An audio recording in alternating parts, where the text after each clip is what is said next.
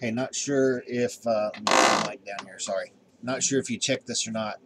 Uh, but go up into settings in K40 Whisperer in general settings.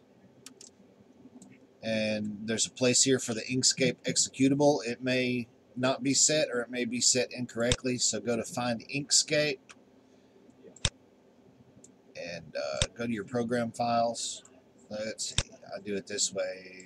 This PC, local disk, program files, Inkscape, and find the executable. which I think is that. Let's see. Yes, application. Inkscape, open, and that'll set it. One thing I just saw though, I think you have to save your configuration file. Give that a try, see if it works.